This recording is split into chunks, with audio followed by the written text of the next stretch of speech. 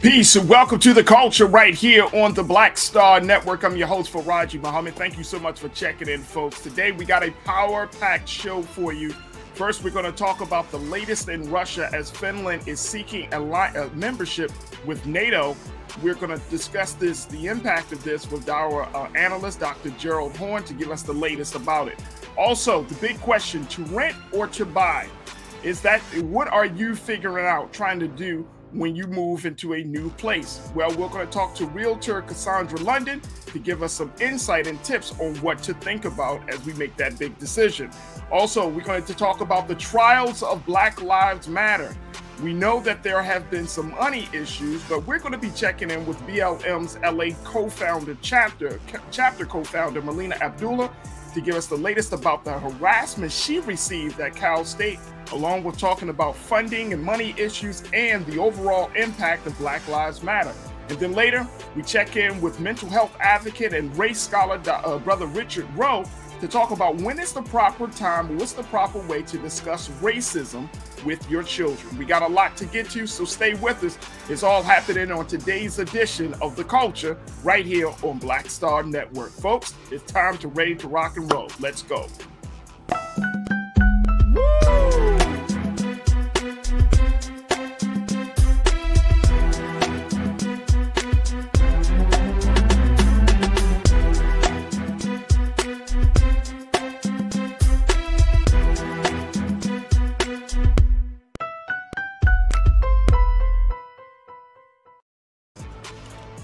Folks, welcome, welcome, welcome to the show. Welcome to the show. So excited about the big conversations that we got lined up for you today. We're also going to be joined by our culture crew that you see here every Thursday. We're going to be joined in a few moments by uh, with Mr. Hassan Giordano, Mr. Politics himself, and we'll, later on we'll talk to Rashad Staten um, as we get their insight about all of these big conversations. But first, let's talk about the latest that's happening in the Russia Ukraine conflict. Finland has announced today, folks, that they are seeking membership with NATO. And this decision will just throw everything into a loop. As Finland tries to get with NATO, it will infuriate Russia, saying, and Russia going as far as to say that if Finland joins NATO, that it would take retaliatory steps. Now, also, uh, of course, the United States of America is all in support of this idea, as well as some of the European allies in NATO at that in that part of the world. But what impact will this really make on that ongoing conflict between Russia and Ukraine? Here to talk to us and has been talking to us about this issue of Russia and Ukraine has been uh, professor of history and uh, race from the University of Houston, our very own Dr. J- uh, Dr. Gerald Horne. Dr. Horne, good afternoon, sir. How are you? There we go. Dr. Horne, how are you today, sir? Oh, it's all good. What about you? I'm I'm good, Doc. I am good. Um, I also want to bring in our uh, uh, culture crew member, Mr. Pol- Mr. Politics himself, Hassan Giordano, into this conversation. Hassan, good to see you again, brother. Thank you for checking in with us. Can you hear me, Hassan? I can. Uh, awesome, awesome, awesome. Dr. Horne, let's start with you, sir. Uh, Finland made this big announcement today that they are seeking membership with NATO. NATO is all in, European alliances are all in, the allies rather are all in, the United States are all in, but Russia, Russia is saying, you make this move, Finland, we're going to have a very, very big problem, saying that they will take retaliatory steps to address this decision. Um, talk to us a little bit about this history first between Finland and Russia, Dr. Horne, and why this decision is uh, angering Kremlin, the Kremlin in Moscow so much. Well, you are correct to say that Moscow is infuriated, and that does not bode well. Uh, with regard to the history, recall that Finland, which only has a contemporary population of about 5 million compared to Russia's about 160 million, was once part of the Tsarist Empire, the Russian Empire, before the Russian Revolution of 1917. However, I'm afraid to say that a few decades later, Finland and Russia were at war. Uh, Finland did well to begin with, but eventually lost. And that helped to generate decades of concord between the then Soviet Union and Finland. And we had thought that that concord would extend to Finland's relationship uh, with Russia. As your graphic suggests, they share an 830 mile long border. And if Russia was upset with Ukraine joining the US dominated North Atlantic Treaty Organization known as NATO, which Russia perceives as having daggers pointed at its throat, it's even more upset about Finland. Uh, keep in mind that the Bulletin of Atomic Sciences for decades now has maintained a clock whereby midnight is the witching hour when the world moves closer to a nuclear holocaust that would incinerate all of humanity. I dare say that if you look at their clock today, we are probably about two minutes to midnight. And I do not say that with any sense of satisfaction. However, it's not impossible to reverse the negative aspects uh, of this decision. Uh, first of all, as we've talked about on the culture previously, you have very important elections coming up in France in a few weeks. France has expressed nervousness all along about this conflict with Russia. And if the left does well in the parliamentary elections, you can expect uh, even more pushback uh, from France. Keep in mind as well that this joining or apparent attempt to join NATO uh, by Finland also raises questions as to why uh, France and Germany were hostile to Ukraine joining NATO, uh, since they're analogous in terms of being close to the Russian border.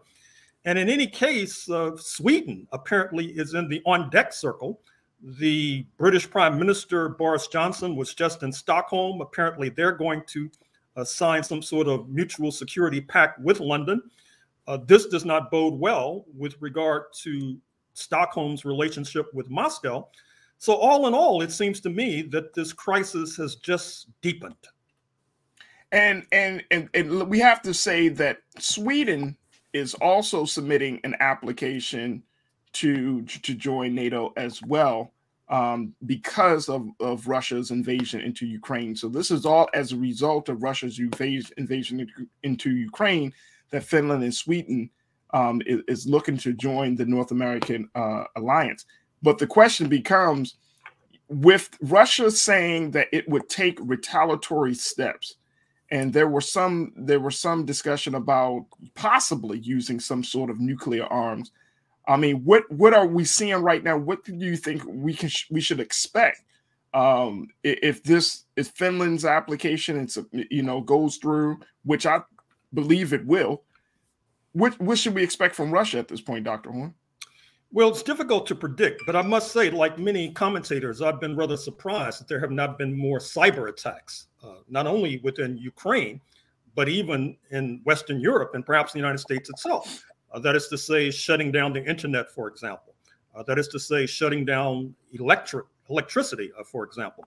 Uh, perhaps, given the fact that Helsinki, the capital of Finland, is so close to St. Petersburg, perhaps the leading city uh, in Russia, you can possibly expect uh, more intelligence activities by Russian agents within uh, Finland itself.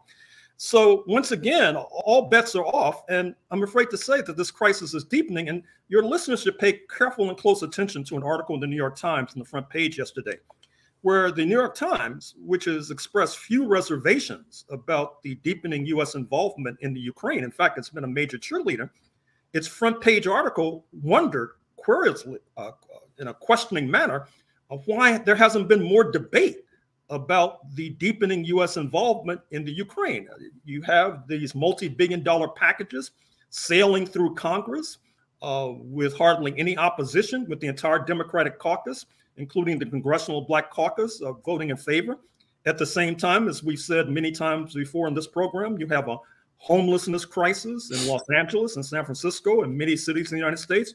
Apparently, that does not rise to the level of national emergency, unlike this crisis in Ukraine, where Congress is throwing money at Kiev like there's no tomorrow. And and and and I want to go back to something you said. Do you foresee Russia possibly trying to sabotage? Um, and you mentioned cyber, you know, cyber attacks, but do you see Russia trying to interrupt uh, Finland's efforts to to join NATO at any in, in any capacity? Oh, uh, definitely. I can imagine that there are intense uh, diplomatic consultations uh, taking place between the Finnish ambassador in Russia and the Russian ambassador in Finland. Uh, I'm sure that thinly veiled threats will be floated. Uh, you should not be shocked. But keep in mind as well something we've also been stressing on the culture, uh, which is that Russia is not without weapons.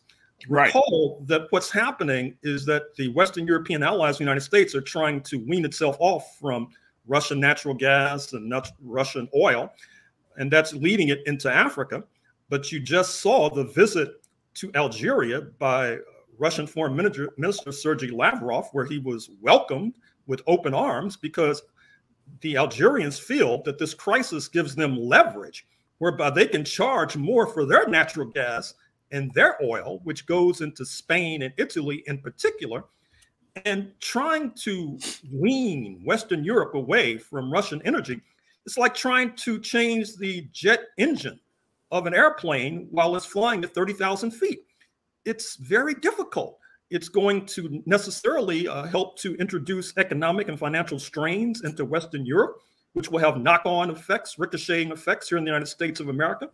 Uh, Mr. Biden has spoken about uh, Russia as being a culprit in terms of US inflation, the fact that mothers find it difficult to find baby formula, the fact that gasoline the, is creeping past $6 to $7 in California. And he has something uh, that, that's a point that, that he's making that's worth considering.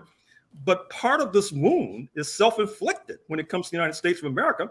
Uh, there was no necessary reason for the United States to deepen its involvement in this conflict to the point where even Western European allies are raising questions about what Pentagon Chief Lloyd Austin said a few days ago which is that the purpose is not necessarily to prop up Ukraine in this conflict, but to weaken Russia. And recall that Mr. Biden himself has called for regime change in Moscow, which right. obviously is going to cause Russia to dig in its heels uh, even more.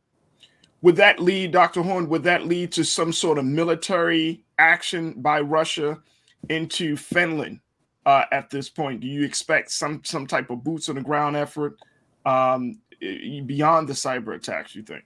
Well, I, I hope not, because it, will it, take a while for right. the charter of NATO, Article 5, which calls for assistance to Finland if it faces any kind of external threat. It'll take a while for that provision to kick in. But with Mr. Johnson of London being in Scandinavia only recently, if Russia intervenes in Finland, you can expect Britain to intervene to counter that. And then, since London is the closest ally of Washington, you might expect Washington inter to intervene as well. Supposedly, the United States is not going to commit boots on the ground with regard to this European conflict. But I'm afraid to say that all signs are pointing in that direction. And when we talk about boots on the ground, we're talking about black feet in those boots on the ground this is um and, and and one of the other things is of course we've been talking about this um since this whole conflict started dr horne that this conflict which started between two countries is is is gradually widening to to include other folks other countries especially in europe. Uh article 5 of the north atlantic treaty it talks about uh, this idea that that defenses will be made if any country in Europe or North America is attacked. So essentially, that this article says that if if an outside group, outside country, or or uh, uh, you know were to attack North America or any any countries that are involved in NATO, the stance of NATO would be if you attack them, you attack all of us and and tell me you know how does this this article 5 which i believe is the core of where of how nato is is which is the foundation of nato how is this going to impact this this this this unfolding developing landscape that we're seeing with this war? Well basically what article 5 suggests is that the united states uh, perhaps uh, your cousins your nephews perhaps you yourself farajii muhammad are now bound to come to the defense of Finland, a country of 5 million, versus Russia's 160 million if Russia decides to attack Finland. What's interesting about this is that recall if you look at the tapes of our discussions in the last few weeks, we've talked openly and freely about how it appears that there are those in Washington who would like to fight Russia to the last Ukrainian. Now it seems that we're in a different stage where many of the Europeans would like to fight Russia to the last US tax dollar, or perhaps if the situation continues to devolve, to the last US soldier. It's very ominous, very dangerous. Hassan, uh, you know, as as listening to this, what's what's your take on this, bro?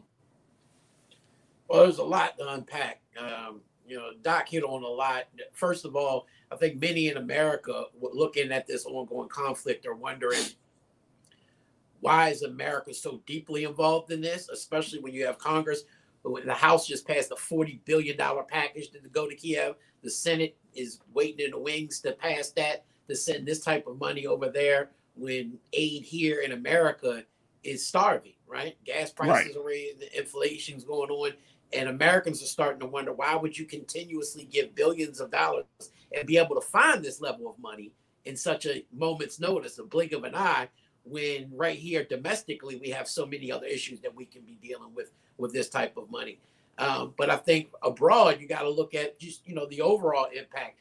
The former Russian president and prime minister Dmitry Medvedev just said himself that he's currently the deputy chair of Russia's Security Council. He said that NATO risks provoking a full-fledged nuclear war by allowing Sweden and Finland in through NATO. Now, this is somebody who has directly tie, direct ties to the Kremlin, who does not speak, you know, out of the side of their neck, who are, is showing some type of force in recognizing that we can't have these two countries, Finland being the longest border, like the doc was talking about, with Russia out of all the European Union's 27 members. This is yeah. certainly not an escalation that uh, anybody in the European Union, a part of NATO, can just take lightly. Now, they do I do expect them to kind of try to expedite both Sweden and Finland's application. Uh, they do have to wait a period of time before between when the application is submitted and when the lawmakers in all 30 uh, existing members of NATO have to ratify uh, their approval into NATO. My question is I, I never understood how NATO, which was designed as a treaty organization back in 1949, guarantees the safety and freedom of its members by political and military means, but NATO themselves don't even have a military. All right. And I think a lot of people are seeing, you know, the conflict as Ukraine being the kind of scrawny kid on the on the playground who punched the bully in the mouth and continues to be this scrappy fighter that the bully didn't just run over. And so Russia's kind of really in the mix of, you know, they I think they really thought that they were just going to run right through Ukraine and and you know continue on with with its mission. Um, but that has not been the case, and so you see some of these smaller countries that used to be a part of the USSR who are now trying to hide behind and or join this NATO ally. Um, and Russia realizes that you know that's something that they're going to make sure that they try uh, to include to make sure it never happens. Hassan, I'm I'm, I'm wondering, and, and, Dr. Horne, I'd like to get your take on this, but but Hassan, I'm wondering, all of this happening, all of this is happening within an election year, like like for Democrats to try to stay in power during this election cycle. How does this thing play out? I mean, the way that President Biden is moving um, he's already, eh, eh, you know, challenged by low approval ratings. So, so, so, what do you think is going to happen over these next couple of weeks as more and more states start to go through their primaries, and then leading up, of course, to the general in November? How do you think this is all going to impact the election? Well, typically, you know, in presidential elections, um, the the party in power, typically, especially if the president has low approval ratings, we saw this during the Bush administration. You know, if, if there's a possibility you not winning re-election, start a war because most of the times Americans don't want to transfer leadership powers in the midst of a war. Now, mind you, this is not America's war, so that's a far different cry than you know when we went in to Iraq with weapons of mass destruction. Two different things, right? This is not particularly our war because we don't have boots on the ground. But I think this does continue as this Russian Ukraine effort continues, conflict continues, it dogs the political uh, ratings, the approval ratings of this president. Um, but I don't think that it's going to have a major impact in the uh, midterm elections based off of congressional members, other than possibly the level of funding that we continuously see approved going out. That may be an issue. But right now, the main issue obviously is abortion, the, the ruling that came from the Supreme Court, pocketbook issues that we're going to see, inflation. Those are the main issues that are going to galvanize people to the polls to vote one way or the other. It seems at this point the Republicans probably are, are a, a, good dead set of taking back the House and possibly the Senate as well, just based off of economic issues. I don't think the war is going to have that grave of an impact, but I think as long as it continues to stretch on and and and, and go further, then that does hurt the Biden administration's approval ratings overall. And we got about 30 seconds, but I, I, definitely want to get your take on this, Doc, and then and then uh, Dr. Horne. I mean Hassan, and then Dr. Horne. Um, looking at the fact that the president never has officially held a press conference or held an, rather an address either from the Oval Office or from Congress to say to lay out what the plan is uh, for this for this whole conflict, Hassan it's like it's like just big decisions are being made. A lot of money is being spent, but no one is talking to the American people. And they don't want to because I think if they know that if they do speak to the American people, the American people will tell them, "Don't send nothing over it." Like we, most people say, "We'll give some aid." You, you'll see that you know in terms of Americans if they want to give their own money, but spending that level of government funding when Americans are suffering on every level, like the doc said, from homelessness to, to food deserts, and the list goes on and on and on during inflation. No, absolutely not. I, I think the president does want to stay away from, again, boots on the ground, being perceived as America getting in this war. But like Doc said, Boris Johnson said himself, the prime minister, um, said that he would defend if Russia was to go to war with Sweden or Finland because he was just over there um, in both countries um, signing a military uh, excursion and said that they would defend them at all costs. And again, because of the relationship that we have with UK, you can almost assert that if they're going to go to war, then America's going to follow suit. So Doc hit that right on the nail on the head with that. And I think you'll see a different tune coming from the president if that happens. Dr. Horne? Well, only thing I would say is that the danger for the Democrats and Mr. Biden is that Mr. Biden's rhetoric might be turned against him. Mr. Mm. Biden has been saying that inflation is largely due to Mr. Putin. The Republicans can flip that script and say, well, there was no necessity for you to deepen U.S. involvement in Ukraine, waving a red flag before the bull that is Moscow. And keep in mind that in these House votes, where I said the Democratic caucus has voted unanimously uh, for these aid packages uh, in the billions to Kiev, it's interesting that the only opposition has come from the Republicans. And that would allow the Republicans perhaps to pose as the party of peace, which is something that I think the US electorate desperately wants. Uh, very quickly, uh, we had a question from Mike V, uh, Dr. Horne, about Africans working on their own military treat organ- treaty organization with the Car- Caribbeans and the Latin American countries is that something that is that possible? Is that an option on the table that Africans can start to say, okay, we see what's going on. We're getting hit because from everything from food shortages on this part of the continent. Can something be worked out among African countries? Well, certainly there are very intriguing meetings taking place between the Caribbean Community, CARICOM, and the African Union. A virtual summit took place just a few months ago. Certainly, with regard to the African continent itself, the African Union, headquartered in Ethiopia, uh, has taken troops from Burundi, from Rwanda, and other African countries and dispatched them to places like Somalia. So, to that extent, what the questioner is requesting is already in motion. Mm, mm, mm. Well, we know if Sweden joins NATO, uh, uh, Hassan and Dr. Horne, it will join. It will end a 200 years. Check this out, folks. A 200 years of Swedish non-alignment. If Finland, if Finland adopts neutrality, um, it's going to follow. It's going to follow a. It's going to be following a bitter, bitter defeat by the Soviet Union during World War II.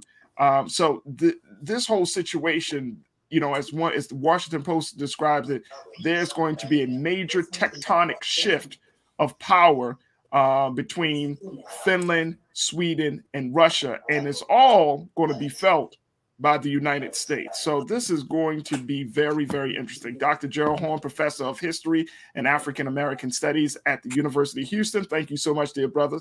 Always a pleasure to talk to you, Doc. Thank you. Absolutely. Folks, we got to take a quick pause. When we come back, let's continue the conversation. We're going to switch gears from what's happening internationally to bringing it home domestically. You probably have already noticed, like I've noticed, rent has gone up. Now people are asking the question is it a good time to rent or is it a good time to buy? We're going to be checking in with realtor Cassandra London to give us some insight about where the market is right now. And then later, we check in with uh, Melina Abdullah, who is the co founder of the Black Lives Matter, Matter LA chapter, about her harassment at the school she taught at, Cal State. We'll have that discussion as well as about uh, uh, the funding for Black Lives Matter and some of the big trials of the larger movement we'll have that conversation. So we still got a lot to get to. So stay tuned for the second 30 of the culture right here on the Black Star Network. We'll be right back.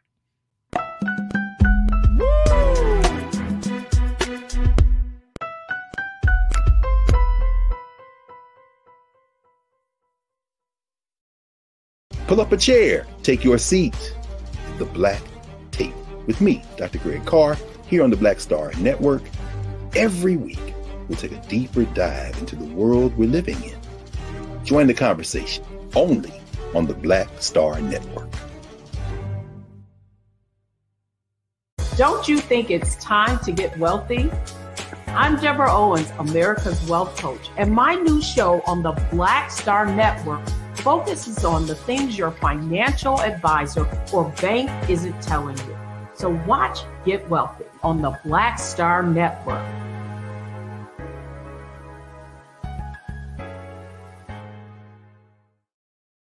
Hi, I'm Dr. Jackie Hood Martin, and I have a question for you. Ever feel as if your life is teetering and the weight and pressure of the world is consistently on your shoulders? Well, let me tell you, living a balanced life isn't easy. Join me each Tuesday on Black Star Network for a balanced life with Dr. Jackie. We'll laugh together, cry together, pull ourselves together, and cheer each other on. So join me for new shows each Tuesday on Black Star Network, A Balanced Life with Dr. Jackie.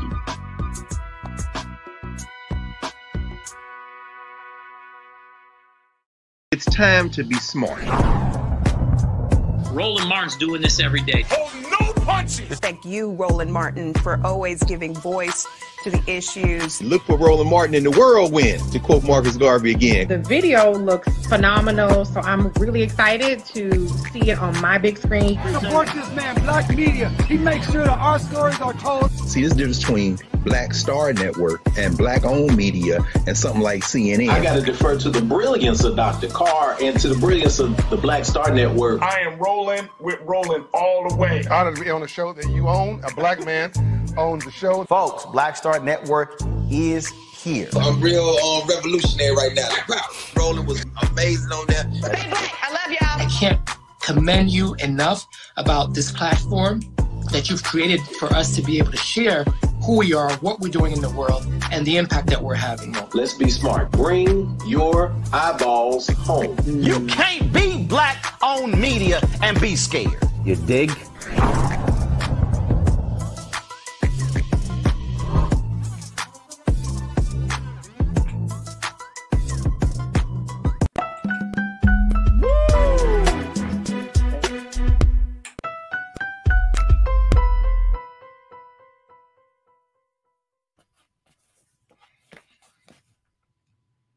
Folks, are you in a turmoil about where to move and the cost that it will, uh, how much it will cost and the impact it will make on your budget? Well, check this out. A lot of people are in the same space, folks. It looks like that due to inflation, the cost of living in a lot of your big cities and small towns have just gone up.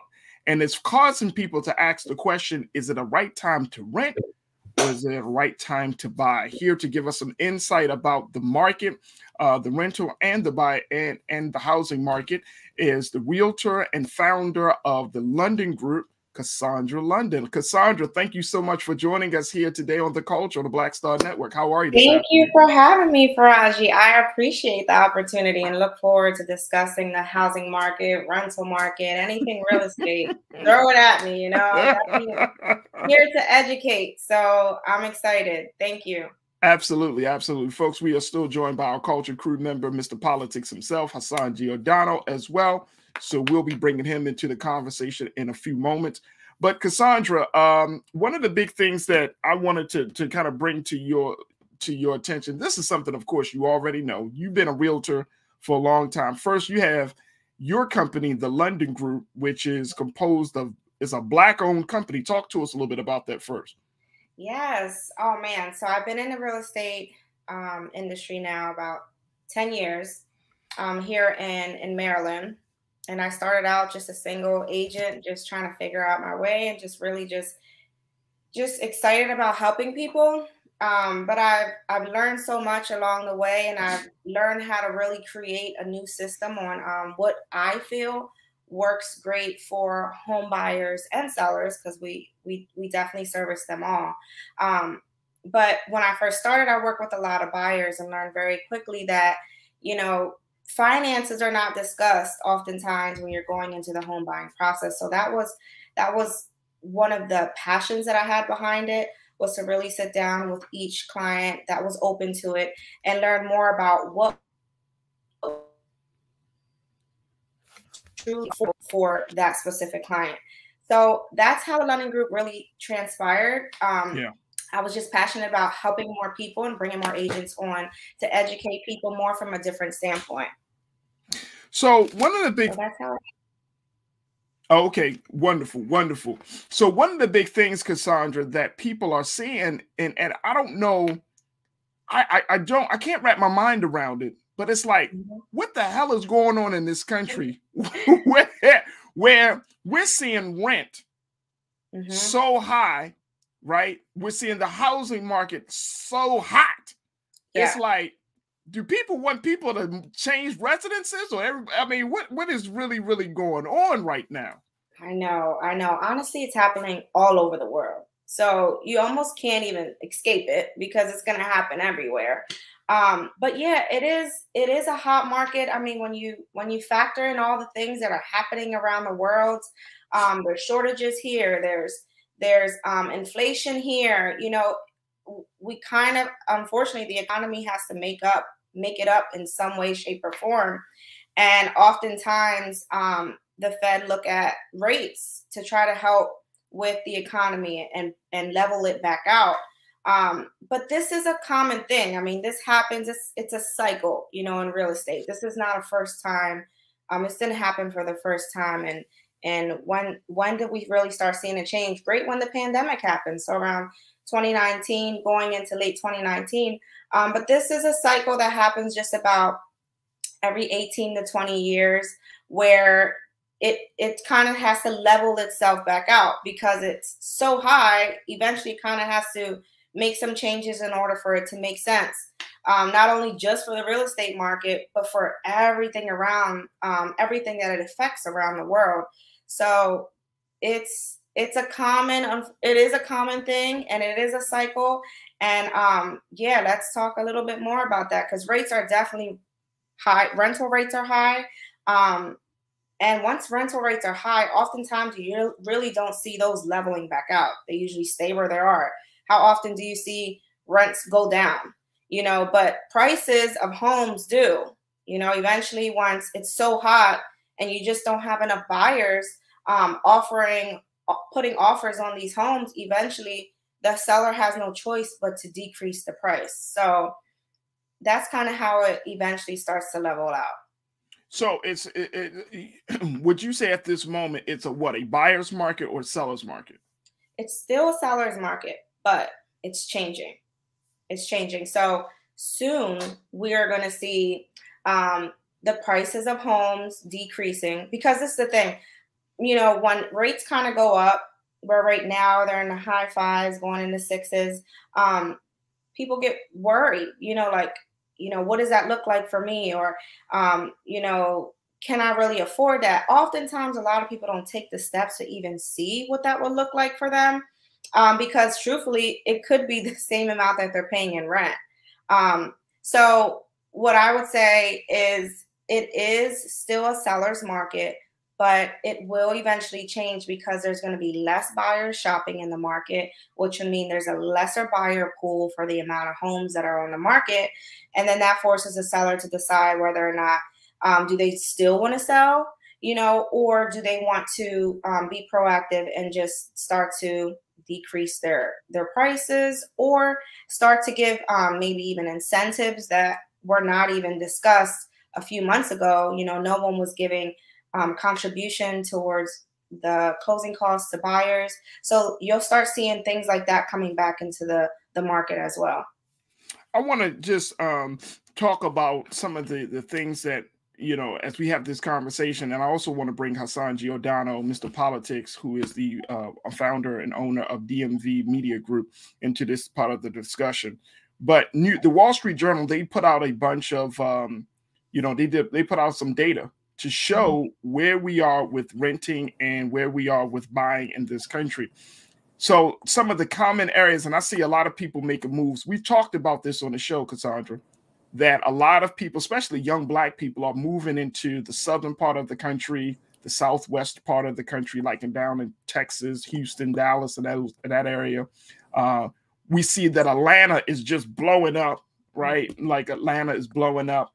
Uh, some folks are moving to Maryland, especially from like the New York and the Northeast corridor. Um, but they're finding, according to the Wall Street Journal, they did uh, uh, this data, right.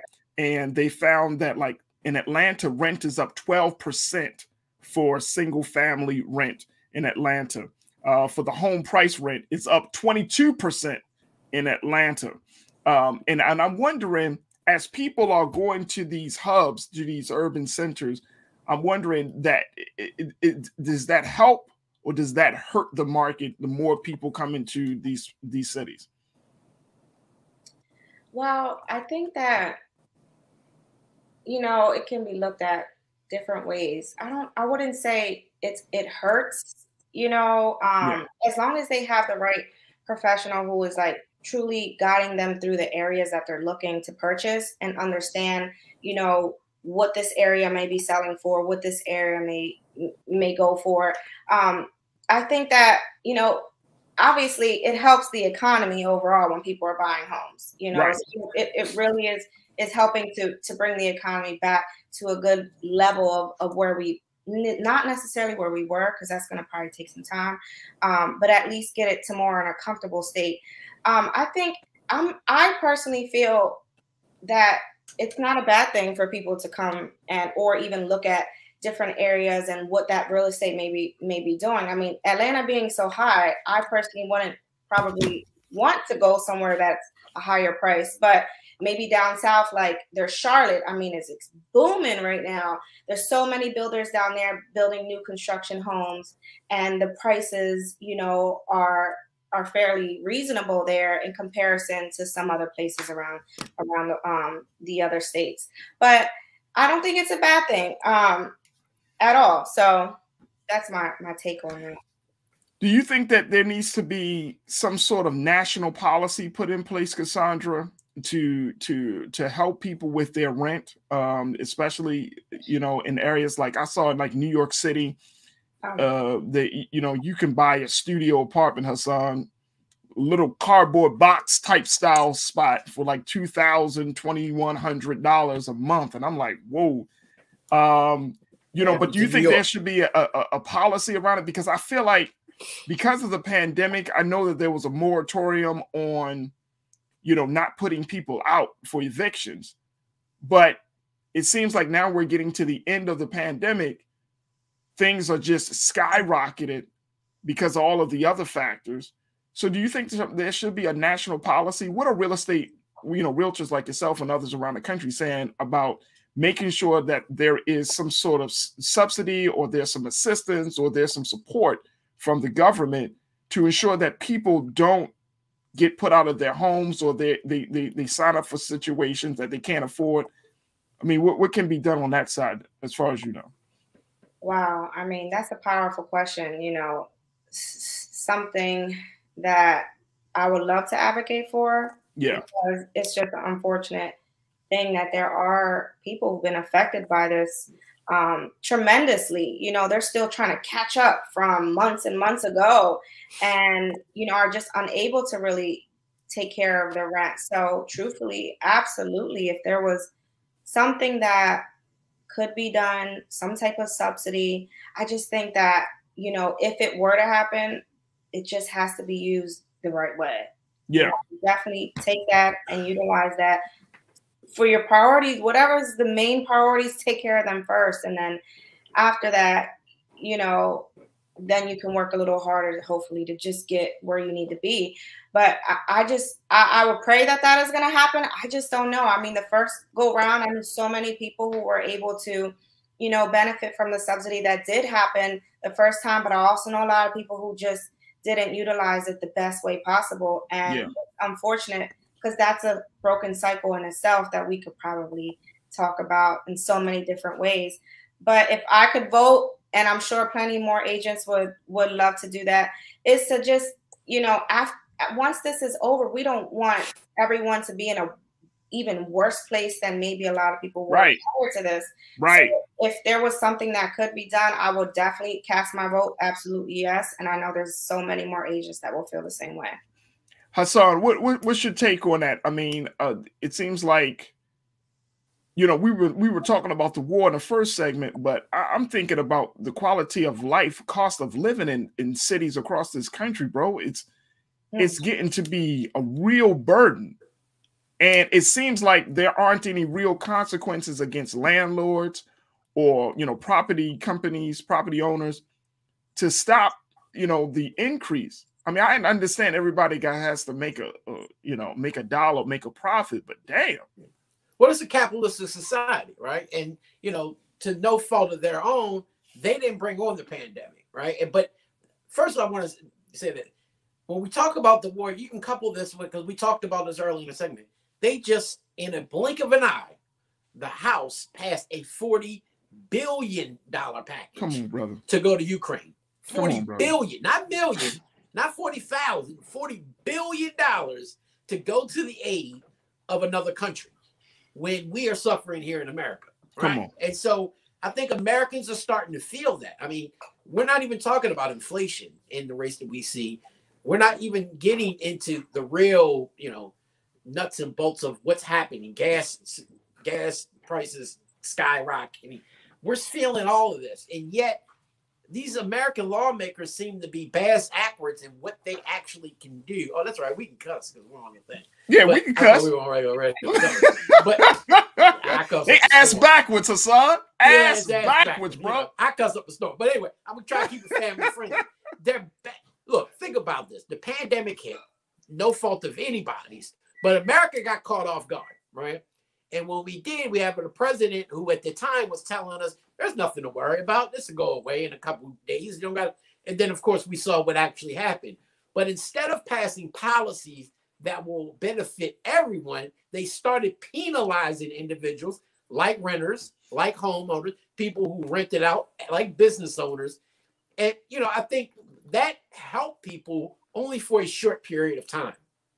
At some point, they had to realize that post-COVID, that you that moratorium was going to be lifted, and all those individuals who decided not to pay their rent, not to pay their mortgage, not to pay their phone bill and their utilities, but were still getting money through income and still getting stimulus checks, mind you, decided to go out there and go to Walmart and go on a shopping spree, right? And go on vacations they didn't need, knowing that at some point you're going to have to pay these bills, right? That wasn't going to go away. Lawmakers, instead of giving free money with these stimulus checks, should have said, you know what we're going to do? We're going to put together a program like you're talking about, Farajii, to make sure, because when you give people money, that doesn't necessarily mean they're going to actually use the money in the right way.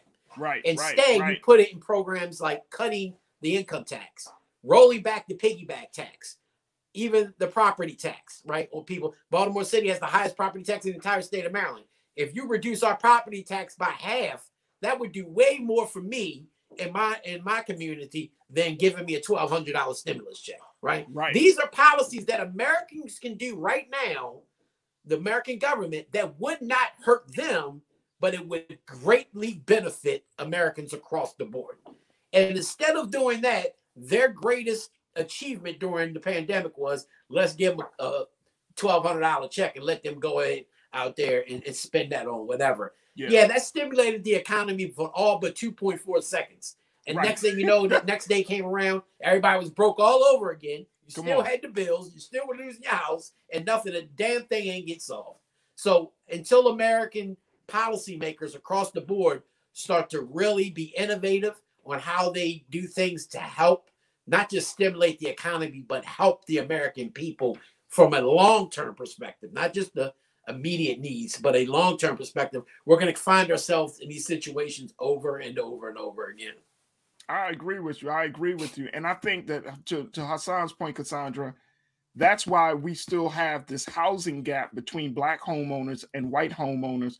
Uh, there was an economist with the who was with the Mortgage Bankers Association, Mr. Mike uh, and Mr. Fratantoni said, "quote The housing gap between whites and between white and black households ownership in the U.S. is about as wide as it's ever been." that black people and white people in terms of home uh, uh, uh, of owning homes owning property it's not there it is not there according to the hill uh, .com it said that in a housing market with mortgage rates hitting 5% and real estate investment companies looking to take advantage of these surging rent prices uh, home ownership is becoming increasingly difficult for black americans. Cassandra, how how are realtors like yourself and other black realtors trying to at least stop the hemorrhaging uh, and to stem the tide uh, of what we're seeing happening and to try to bridge the gap between black and white home ownership? Yeah, it's unfortunate that that is the case, but it's been that way for a very long time. You know, they've created things like redlining. I mean, there's blockbusting. There's so many things that were unfortunate. We we were blindsided by what was even going on um, until it maybe just was blatantly had happened to you, and you were actually, unfortunately, someone who was affected by it. Um, so this has been going on years and years, but now here we are, right? And you know there has been some changes, but I'll speak to like people shopping in Maryland and at least even Baltimore City, um, because there are programs that are out there um, specifically for Baltimore City from buyers who make a certain amount of money. There is a cutoff, but there is one called the Baltimore City Block Grant that used to be five thousand dollars that you can put towards the purchase of your home or closing costs or down payment. But Mm. now it's actually been increased to ten thousand um, which is double, which is nice. And I mean, that in itself, depending on the house that you're going to buy, can really take care of a huge portion of um, of your of your closing costs. And now that we're going into a market where you know the buyer pool is just becoming smaller, sellers are more open to um, concessions. And what that would mean is, you know, if there's a seller who has a home and they have a buyer who wants to make a deal work, but the buyer can't afford all their closing costs. The seller can give um, a contribution towards their, their closing costs. And that varies based on the loan product that you're going to utilize. But there's an FHA, there's conventional, there, and then it kind of goes from there. Um, but those different products um, allow the seller to give certain amount of, of monetary help to the buyer. So if you combine these programs that are available, like the Baltimore City Block Grant. There's also Live Near You Work, John um, a John Hopkins grant that's up to like you can you can almost um, stack it. It's like 17 grand that you can put towards the purchase of your um, home. So there's programs, things of that nature that I think that us as a community we need to be open to learning about what's available um, and also taking a step, even if it feels scary, even if you don't know, you're not educated about it, you know, just picking up the phone um, and speaking with someone such as myself. Um, I would, I'm always open to sharing what it is that I know Mhm. and then figuring out what might work for you. And listen, if you have, some people have actually still are saving money during this pandemic. I've met some great people, some great buyers. Um, who have who have been doing that who've created good habits and they have the money that they have saved but the, the, thing is for me i don't want them to spend it all i want them to still utilize these programs like go into that still keep using you know keep doing those healthy habits that you've been doing to be able to save up $10000 $12000 um, but let's use these programs let's use them and then save that money i mean yeah. the way that i see it like this is you have to almost put your investor hat on right now and take off my first time home buying hat. You know, keep it on to ask questions and learn. But when you look at the market right now, as you can become one of those landlords as well, who is, you know, benefiting from the market, who are people who are paying rent. And if you can get into a home, you know, $200,000, which is the average um, sale price right now in Baltimore, purchase a home at that price point stay in there for a little, maybe a year, you know, utilize those programs and then turn around and rent it out. Maybe give someone a chance or an opportunity to rent your property, you know.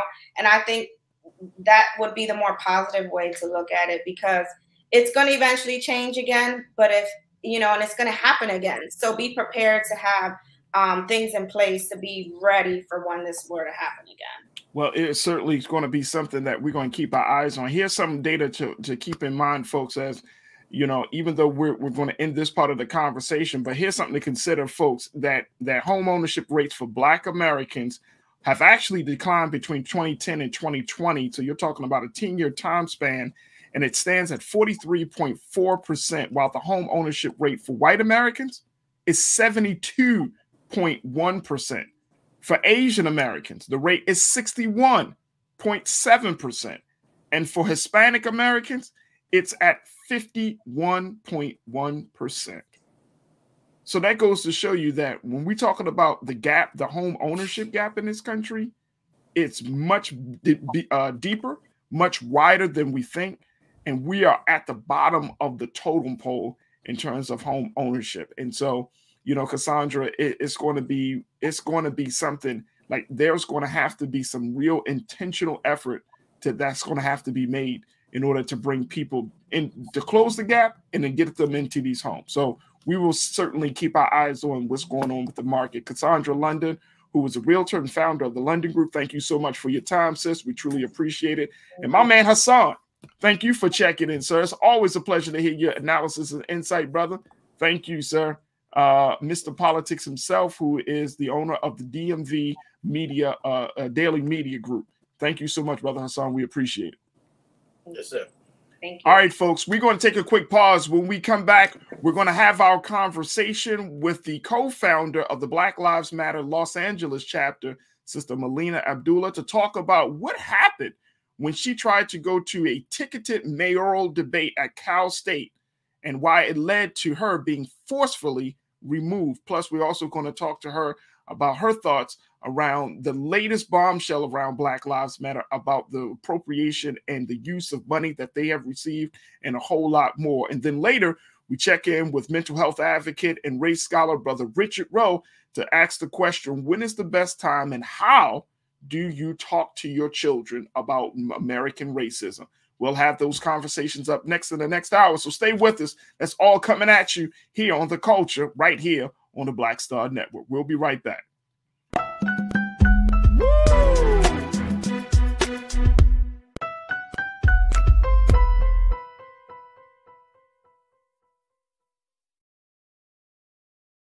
Don't you think it's time to get wealthy?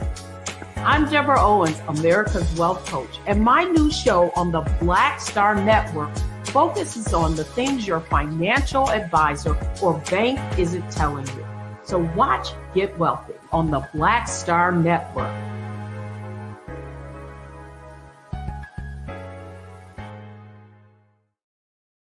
Hi, I'm Dr. Jackie Hood Martin, and I have a question for you. Ever feel as if your life is teetering and the weight and pressure of the world is consistently on your shoulders? Well, let me tell you, living a balanced life isn't easy. Join me each Tuesday on Black Star Network for a balanced life with Dr. Jackie. We'll laugh together, cry together, pull ourselves together, and cheer each other on. So join me for new shows each Tuesday on Black Star Network, A Balanced Life with Dr. Jackie.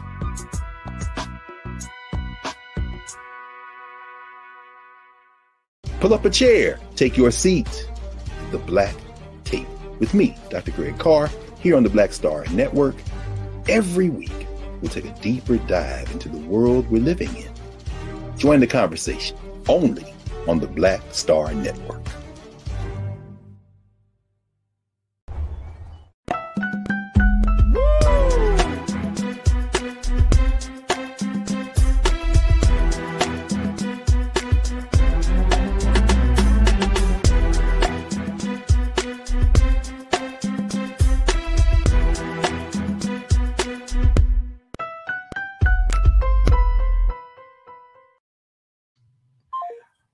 Folks, welcome back to the second hour of the culture right here on the Black Star Network. I'm your host Farajii Muhammad. Folks, just a dynamic first hour. Let me just tell you, if you haven't had a chance to check out the conversations that we've had about um, everything from the latest that is happening in Russia and Ukraine to what's going on with the housing and rental market, definitely check out the first hour.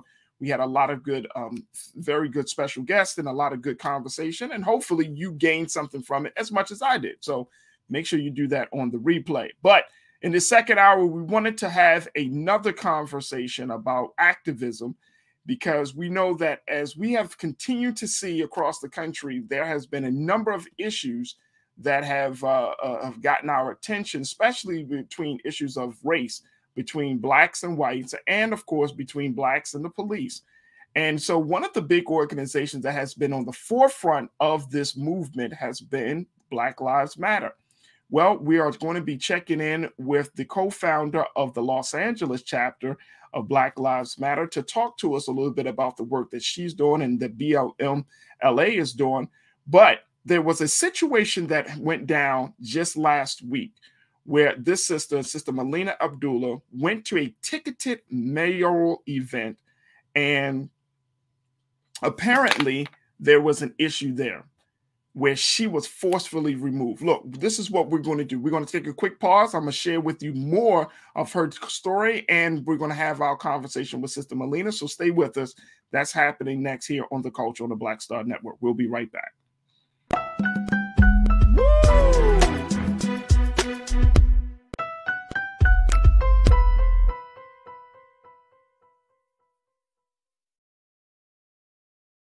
Don't you think it's time to get wealthy?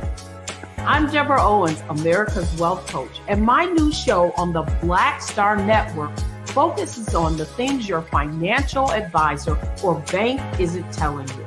So watch Get Wealthy on the Black Star Network.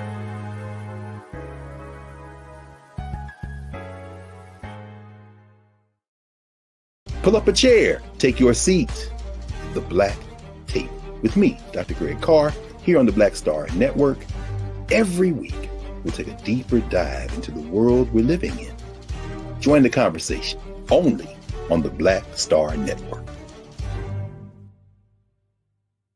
Hi, I'm Dr. Jackie Hood Martin, and I have a question for you. Ever feel as if your life is teetering and the weight and pressure of the world is consistently on your shoulders? Well, let me tell you, living a balanced life isn't easy. Join me each Tuesday on Black Star Network for a balanced life with Dr. Jackie. We'll laugh together, cry together, pull ourselves together, and cheer each other on. So join me for new shows each Tuesday on Black Star Network, A Balanced Life with Dr. Jackie.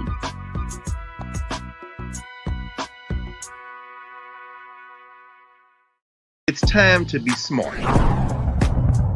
Roland Martin's doing this every day. Oh, no punches! Thank you, Roland Martin, for always giving voice to the issues. Look for Roland Martin in the whirlwind, to quote Marcus Garvey again. The video looks phenomenal, so I'm really excited to see it on my big screen. Support this man, Black Media. He makes sure that our stories are told. See, this difference between Black Star Network and Black owned media and something like CNN. I got to defer to the brilliance of Dr. Carr and to the brilliance of the Black Star Network. I am rolling with Roland all the way. Honored to be on a show that you own. A black man owns the show. Folks, Black Star Network is here. I'm real um, revolutionary right now.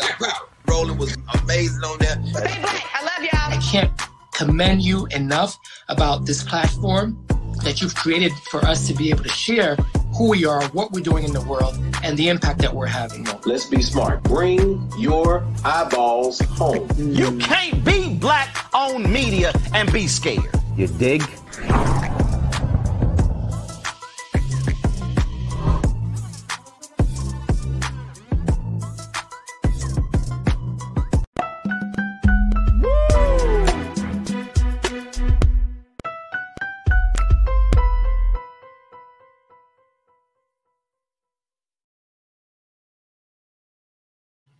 All right, folks, we wanted to have our conversation about what's going on with Black Lives Matter, the trials of Black Lives Matter. In a few moments, we're going to be checking in with the uh, co founder of the Los Angeles uh, Black Lives Matter chapter, Sister Melina Abdullah, to talk to us about the latest work that they're doing um, in, in the midst of the controversy around. Uh, the the the bombshell that was dropped by the BLM founder Patrisse Cullors, and in the midst of the fact that Melina, Sister Melina, was harassed and forcibly removed from a ticketed mayoral debate in Los Angeles from the uh, campus of Cal State LA. And so we'll have Sister Melina on. Um, but I wanted to bring in Culture Crew member Rashad Staten to to talk to us a little bit about you know where Black Lives Matter is um, as we continue to see this movement grow, continue to see this this movement, you know, really take shape in a lot of ways. But it's also Rashad, this movement has been under a lot of controversy. Uh, we do know publicly that the movement was able to bring in $90 million as a result of its activism efforts. And then the, the it's once the money started coming into the picture, brother, everything else started the scrutiny started to intensify uh, for the black lives matter the the, the global uh, organization. And i remember reading some uh, some some some excerpts in you know the interview that patrisse cullors did the blm founder one of the blm founders. And she said that she never they never expected and they weren't really prepared for black lives matter to blow up the way it did. That they never it, it, it, was it was like it started as a hashtag online that evolved into a full-blown nonprofit organization. And that they weren't really prepared. They never expected these things to happen. And I eh, you know, I, I don't know if if years from down the road, Rashad, we're going to see this as a cautionary tale of of you know what happens when you start a nonprofit organization from social media. But it just seems like there were a lot of i mean there's been a lot of high expectations about the work. There's been a lot of scrutiny. I mean what what, what do you make of this story of black lives matter as, as the story continues to evolve? Yeah peace and blessings. Always always good to be peace, on the brother. culture and for the culture. Um how do I state this? And I'm, I'm gonna make sure that my words are intentional. Um, one is when I think of Black Lives Matter, I, I, love the messaging and what it says in blatant terms that our lives do matter, um, and not negating those that often try to go to the opposite end of that spectrum, saying all lives matter. I think it's a one and all. If all lives matter, Black lives should be included, inclusive of that approach in itself. Um, like you said, a movement that was birthed out of the social issues that we seen trending and going viral on our ways and seeing black bodies being murdered, castrated, and modern days lynchings by our law enforcement agencies, I think that is it was timely and purposeful that it's sitting with. Uh, and I like the idea that it's still, you know, functioning and still has its own purpose. The idea of now the scrutiny that's behind any black organization. If we know our history, you know, I'm a history lover. When have we not ever been scrutinized, even for doing the betterment versus those that's being destructive? We have always been the ones that have been the specimens that have been investigated, um, interrogated, and exploit it even when we go in the rightful manner. So I think the intent of the organization and how it built itself up. Um, I respect it and I honor the work that it has done because it has made some progressive impact on our community as far as um, law and policies, and even increasing the idea of having courageous conversations around race, um, trauma informed practices, conscious biases, unconscious biases, DEI work, diversity, equity, inclusion work, and the idea of critical race theory. I think all of this seen an upsurge once we started to see the Black Lives Matter movement. So I give honor and recognition for them to see an opportunity and lean towards it and creating it into a functional um, organization and a business. And I'm not surprised that it is being scrutinized because when have we never been scrutinized as a people? Right. And I think that's one. Um, and when it comes to the money and those in particular, when you are a nonprofit entity, your money is public money. So those that's digging further into it, they're just doing what they have the accessibility to do. And if we are operating in good intent and good manner and fiduciary responsibilities, then your check account and your bank account should be open to the public to lean into getting their own perspective and own understanding of what the organization was. So what I have to say, I'm curious to uh, hear from the sister once she joins us, but I think Black Lives Matter and what the word is saying and how the messaging is, it lifts up the value of Black humanity. Um, we always follow the dollars. Anybody know me? I before I lean towards anything, I follow the dollars, and I knew from the front end who was actually funding these organizations. Um, so I have less scrutiny on them as I look towards the real impact, and that's the work that they're doing. Um, yeah. And I that's that's the most important work. Without that, where would we be now? Will we be still seeing these progressive movements? Um, I think it was one that is not even reactionary, but Black Lives Matter in the movement of its origin um, was a proactive approach to the work, and I think it is still has this um, still shows remnants and it still shows this level of effectiveness to this day. Um, when we get into the monies and, and the, the, the duality between the people and the movement, um, there's always human fault at play, right? Yeah. So we always lean into that human fault. But if we look at the impact, I think they've done their part. But it takes us as individuals to make sure that this collective movement stay afloat and we see the betterment of our people.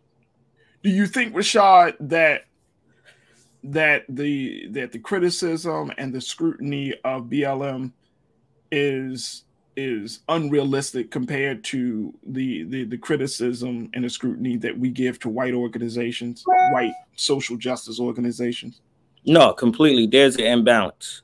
Um, and we've seen this from the insurgents that we've seen on Capitol Hill for those riots, which was an actual riot, to the uprisings that we see in our community there was not as much scrutiny um, to get these people. Yes, we know that some people have been investigated, some people have been in prison, and some people have court cases. But the reality of how they have done one versus the other when it comes to Black people and Brown communities, we know that there's a um, an imbalance in how our agencies, our institutions, and law enforcement often investigate us.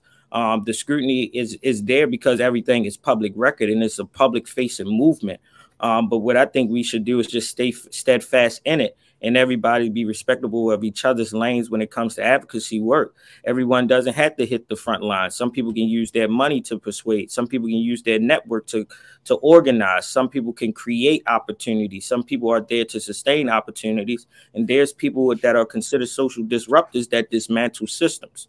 Right. Yeah. So if we find yeah. our lane and we operate in our lane, we don't need a singular organization to propel our movement, our culture, and our community we all can work individually, but more effectively, we can work collaboratively to keep the work moving, even if there is a um, an actual void or there's a, a, eradication of Black Lives Matter itself. But the remnants of what that message is that Black Lives Matter is going to exist, is always going to exist. And I hope that we always honor what that has done for us in the community in the last decade or so.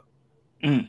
I want to bring in our sister now, who is the uh, the the co-founder of the Los Angeles chapter of the Black Lives Matter, as well as the she's also a tenured professor of of, of African American history, Sister Melina Abdullah. Sister Melina, always a pleasure to have you joining us here on the show. How are you this afternoon?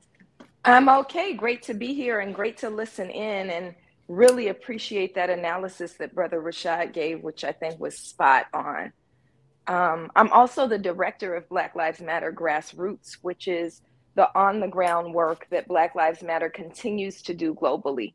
Um, so it's our collection of chapters and um, campaigns and movement work that's um, going on all around this world, um, including here in Los Angeles. Fantastic. Sister Melina, first and foremost, um, I, I read about what happened to you at Cal State you being removed uh, by force by LAPD. Um, and this was happening. Um, and Keenan, if we want to show that video, brother, please. Uh, this was happening during a mayoral event where there were a number of protesters out there because they were protesting saying that all the candidates at this mayoral event was not being represented And as a result of that, police decided to take you into custody and others. And we show this video right now, Sister Melina. Um, what, what, tell us what was going on. What, what led to you being removed? What led to the fact that you know there wasn't? It didn't seem like and there were anyone that really came to your aid. So let me give you the moments before um, the violent removal, my violent removal. So you got the what happened, what people captured outside of the event, but inside the event, um, it was in a student union theater, which accommodates about 192 people. There were less than 20 folks in. I've been a professor at Cal State LA for 20 years. I teach Black Power. Um, and I had my students there, and I told them there's a mayoral debate. You know, we're going to go, we're going to analyze it, we're going to talk about what it means that the black first viable black woman candidate is running. Um, and they were denied entry but I've been there 20 years, so I know every entrance to every building. So I just walked around and walked in through another door and sat in the theater. And as I was sitting there, the director of the center that was sponsoring it walks up to me. I've also known him for more than 20 years. He walks up and says, This is a ticketed event. I had on my mask. So I took off my mask and I said, It's me. And um, he doesn't say anything, but 20 minutes later, it was actually campus police come in. And um, one of my colleagues was asked to leave, and she left or starts to move. And then they tell me to leave, and I protest, uh, contest that, not protest, but I said, I teach here. Next thing you know, they grab me by my shoulders um, and drag me down the aisle. I'm reaching for my purse. Um, and when I get to the end of the aisle, the two male officers yell out to the women officers, grab her feet. And they grab me by all fours, each of them tugging in a different direction. I'm yelling, You're hurting me. Um, none of the candidates on the stage did anything. All of the candidates were on the stage.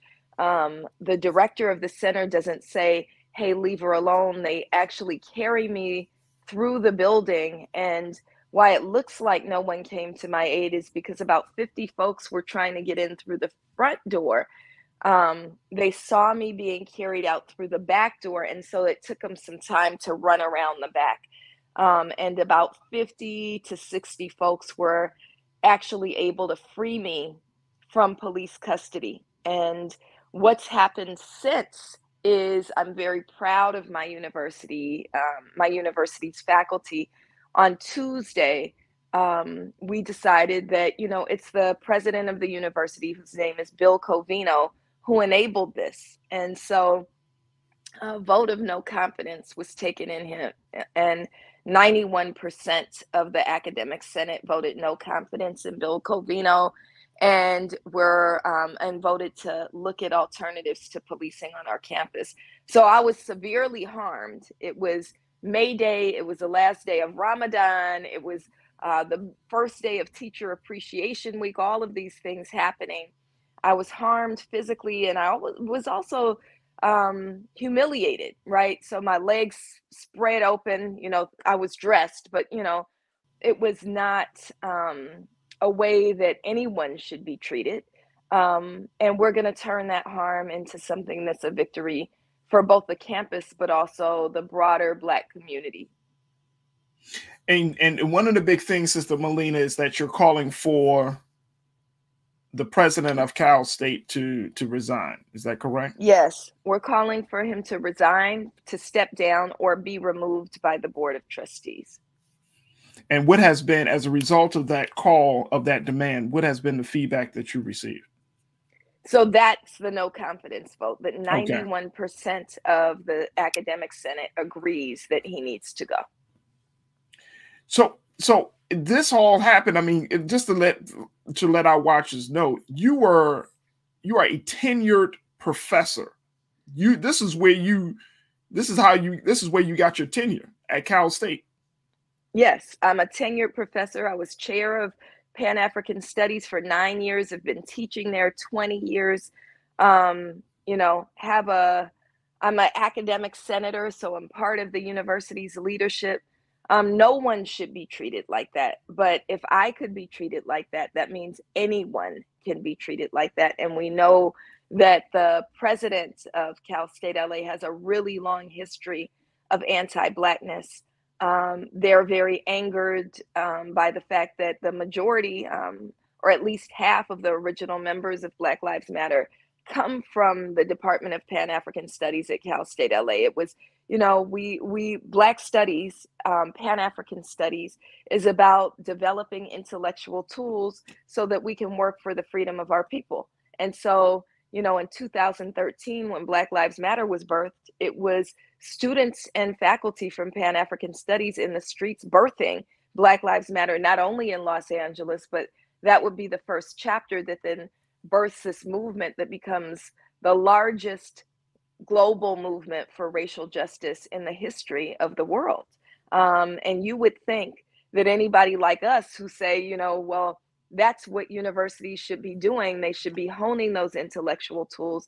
We'd be praising that. But instead, if you are uh, leadership or misleadership like Bill Covino, you see that as a threat and you try to squash that, including attacking people like me and others. I'm not the first person to be attacked. He's called campus police on students, he's called campus police on faculty, and been really, really anti Black over his nine year legacy. And so we're saying that that legacy needs to come to an end now. So there were there were I mean this was a mayoral debate. You had some of your the major candidates running for um, uh, the mayor of Los Angeles, present, Karen Bass and others. What did they do? They while did this nothing. was all happening. They did absolutely nothing, and that's also you know hurtful. Um, I've also known Karen Bass for 20 years.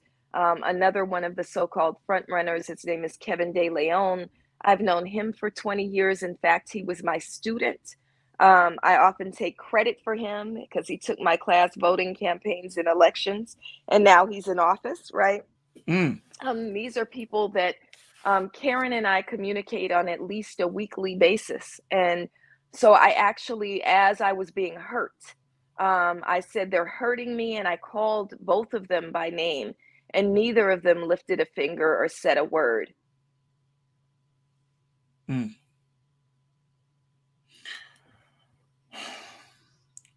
That's that's that's a that's a hard pill to swallow, Sister Melina. It is. This this It is, a hard pill to swallow to see to hear the story and and we want to let's bring Rashad back into this as well. Um to hear this story and to you know it's it's a very hard pill to swallow. Like there's one thing that you can disagree with a person, you know, on their ideology or their philosophy or their, you know, when it comes to, you know, certain issues. But it's another thing when when when things get physical, especially for black women, when black women are involved, that no one has done anything. Um, I read, Sister Melina, that there were about 50 people that were in attendance for this debate that there, this wasn't even though it was in a it was in a big venue that there weren't a lot of people there. Um, did did anybody come to your aid uh, while this was all going on? So there were about 50 people outside who'd been Okay. locked out of the event, but inside that theater of that seats 192 people, there were about 20 people, and that includes the candidates and the media. In fact, it was so sparsely attended that I heard the cameramen who were standing behind me going, Where is everybody? Where are all the students? And the truth is, the students were locked outside. Wow, wow. Yeah, this just listening to our sister one, I want to say, um, we see, we recognize, and we honor you for your work. Um, and I'm fortunate that you had to go through this, but thank you for standing in whom you are in your work. It sounds like much of a powder keg situation that it was brewing over years, but it had to take this one particular incident to move things and have these courageous decisions that should have been addressed years ago. But thank you for being, you know, an unwarranted martyr. And I think most of the time, who acts to be a martyr in that work. Um, but I, I'm grateful that you're still alive and you still be able to give your voice to to the unfortunate circumstance. But being the the the, the change agent and the champion you are for us as a community, thank you for still staying steadfast in your work. Uh, but what what what gets me is these three points as I'm listening to your story. Um, one is the idea of around having a closed ticketed event for a forum that is that should be um, that is centered around public elected officials, right? So, what is the intentionality of having a ticketed event that is minimum in representation and people being in the audience on a large scale university that has its own department that is building up young people and it shows this validity and impact as one of the young people that was a past student as an elected official and often going towards um, expanding into another uh, political office. It calls into question the intent of that actual form, the college and the university, and as well as seeing the interests of the young people in the communities that wants to be there. Why not create space for them to hear the same person, if elected, that will have the pen and power that directly impacts their community? And that is an issue that we have around civic engagement. If we are going to be civically engaged people, we need mm-hmm. the space um, to do so to hear directly from those people. And the second one is when they see these situations happen and you have a interpersonal, um, intergenerational relationship with these elected officials that are serving or are candidates to serve in position, when you have these um, incidents that happen in real time and you see them not show up and use their power and influence to um, address or be resolute in that manner, it makes you question what would they actually do once they are elected. Mm and the third part is uh, with our sister you know with anyone that understands or have went into higher education knows that getting a tenure position is not easy at all. Um, it comes with a sense of that person have their own credibility expertise and knowing their work and the impact and how it can directly build up the credibility of the institution but also how they pour into our young people. That this sister has done her work her work shows for itself that if she if there is not any place where an intellectual should feel at home is. It should be on a college university. And to possess and exemplify that power that skill set and your intellect and be closed out of the opportunity for you to exude that it calls into question the university and it calls into question when do we allow and create lanes for our people to show up in their strengths? If she cannot show up in her strength of what that is and to bring her students in there to implement their skills and what they're learning in real time is our colleges and university really servicing their purpose. Mm. Sister Melina. I would just, you know, I, I, appreciate all that was shared, and I would just, I guess, um, underline some of the points that were made, especially the points around the candidates um, if they're running for mayor of Los Angeles, you know, one of the things that we saw is after um, after the um, abuse happened, everybody was outraged, and you know, I'll I'll send you some of the video of what happened inside because what happened inside was even more horrific than what happened outside, right? Um, and so I'm yelling, you know, they're hurting me and calling them by name. What the candidates said, Karen Bass and Kevin De Leon said, is they acknowledge that they know me very well, that they've known me for 20 years, and then said, We didn't know that was her. What um, bothers me is one, I don't believe them. Um, that I, I think I'm pretty recognizable. In fact, when I yelled out, I even took my mask off to make sure they could see me. Um, and it's a even though it's a 192 person theater, that's still very small. So um, the debate hadn't started. They could see. Um, I also have a radio show and have a pretty distinctive voice, so I mm-hmm. think they mm-hmm. would recognize my voice um, even if they didn't see my face. But I think the bigger point is what if it wasn't me? So what? So what if it wasn't me? What if it was some other black woman faculty who's saying, I teach here, you're hurting me, and calling for help. You shouldn't have to know that person in order to come to their aid. And if that's the kind of leadership we're looking at, that's not the kind of leadership I desire um, for the city. I think that anytime someone is being abused by police, especially leaders, should hop in and at the very minimum say, What's going on? Question it you know? So this this situation here, Sister Melina, it just continues to add to you know the trials that Black Lives Matter has been under, um, where there there some people are losing their you know with the alliances that were made over the past few uh, over the past decade are starting to what some people would say are starting to kind of fall apart because some people say a BLM is still you know saying this and that but the reality is is that you know the conditions of black communities and other folks things aren't really changing.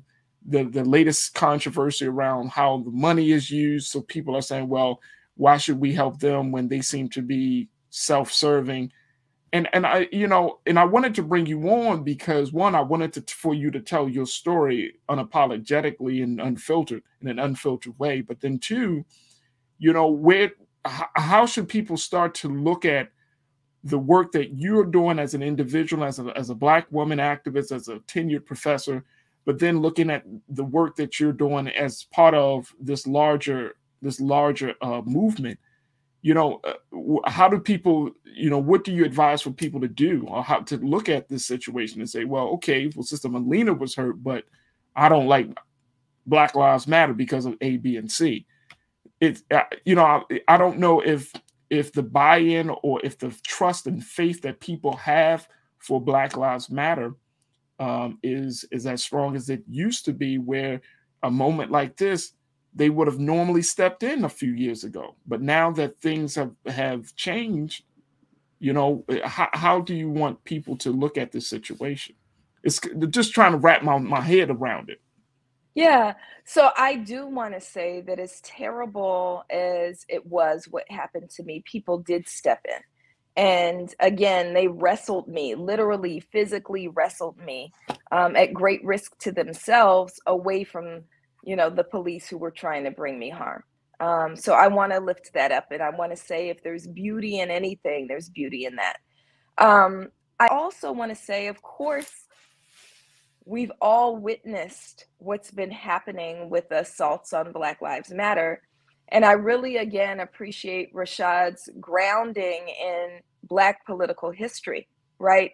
If we think about any movement for Black liberation, so Black Lives Matter is not about, you know, okay, there's these systems, we want reform. We're saying that these systems were built in order to bring harm to Black people, right?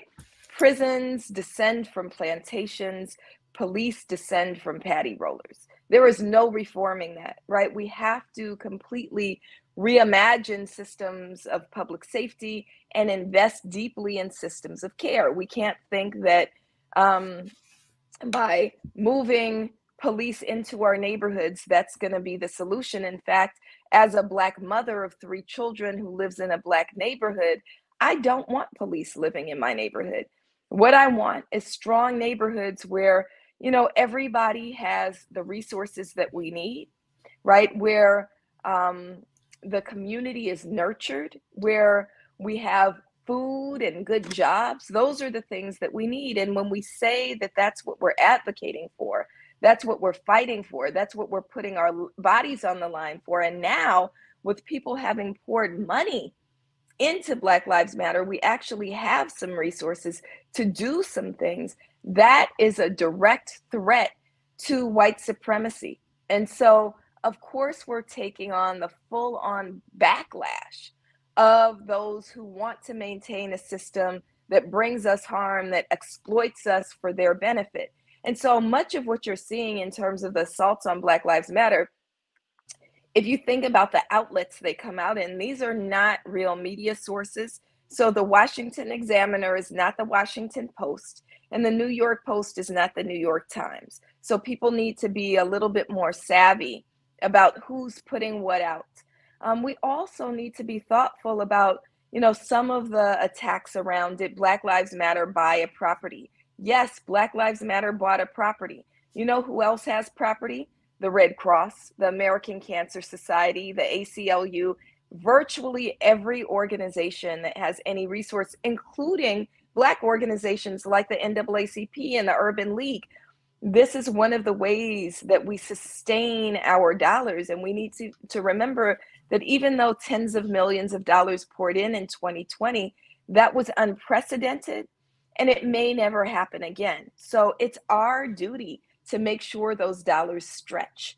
And I'm saying that as one who's actually not on the money side of Black Lives Matter. I'm the director of Black Lives Matter Grassroots, which means I'm the movement side, not the money side but I'm saying that I understand the need to stretch those dollars so that we can continue to do the work on the ground. And I think that our pushback as Black people who want freedom for our folks has to be look, we need to deeply invest in this work. What's happened over the last eight and a half years? Black Lives Matter was born July 13th, 2013, the day that the murder of Trayvon Martin was acquitted.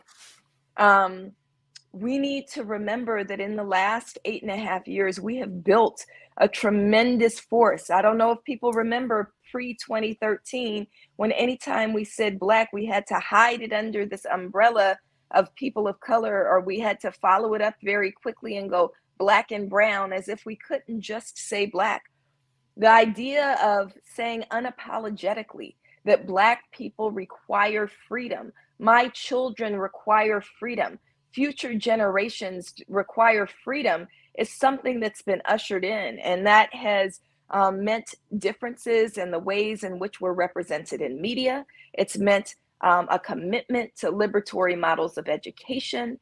It's meant a pushback against the assaults that we experience every day at the hands of police and prison systems. And so it means that for Black people, we can't allow a backlash, a white supremacist backlash who wants to hold on to old ways of being to um, really cause us to turn our backs on the most viable movement of our lifetimes.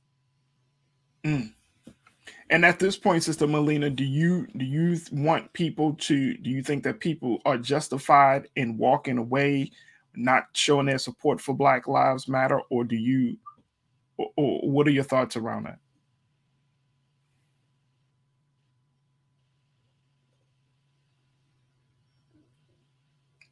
Sister Melina? Um, we have a protest in front of the police association.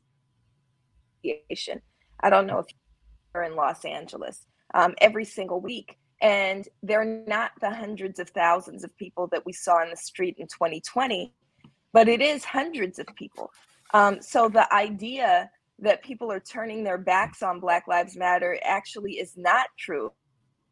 It's that, you know, in a moment where we're moving out of a pandemic, when we're trying to find our footing financially, um, people can't be in the streets forever, um, we're still resolute. We're still saying names like Peter Lyoya um, or Patrick Lyoya, who was um, murdered in Grand Rapids. We're still lifting up names like Andrew Joseph III, who was 14 years old when he was murdered as a result of police action in Tampa, Florida. We're still fighting for Black lives and demanding changes in policy. In terms of Andrew Joseph's name, we're demanding the end of qualified immunity, right? We're still taking that on. It just can't forever look like hundreds of thousands and even millions of people in the streets consistently. But we have to fight in every way that we can.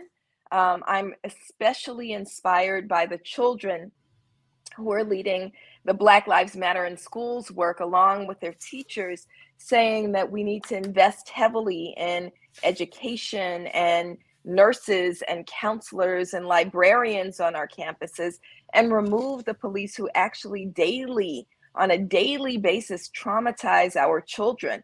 Um, and they've been really, really successful in demanding care, not cops on their campus, and demanding police free schools all across the country, but especially in cities like Los Angeles and Oakland.